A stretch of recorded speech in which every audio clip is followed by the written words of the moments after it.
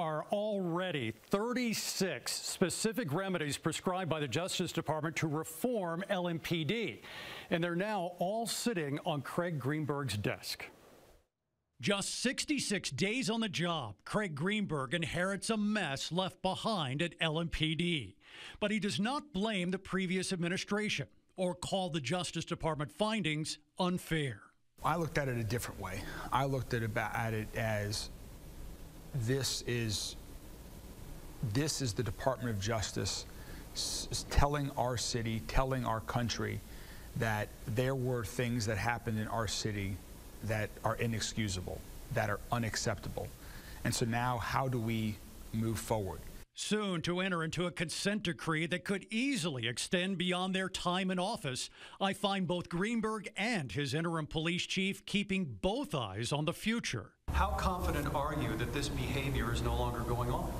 I, I certainly hope it's not. It will not be tolerated. And yeah, I, I certainly hope it's not. What kind of confidence do you have it's not happening? I'm confident. I'm confident in the fact that we have embraced reform and we've embraced the changes that we already have implemented here.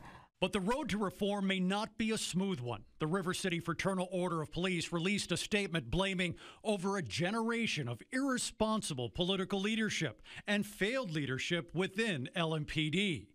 If the experience of other cities holds true, keeping officers on the job during the reforms will be a challenge.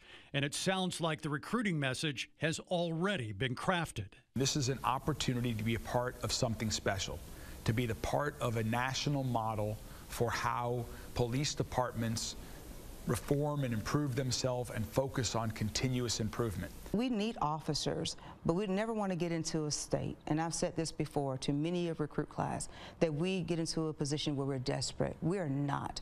We want quality individuals to join this agency. Greenberg believes the demands the DOJ places on the city will focus primarily on training. Some of those needs will be addressed in his first budget due in April.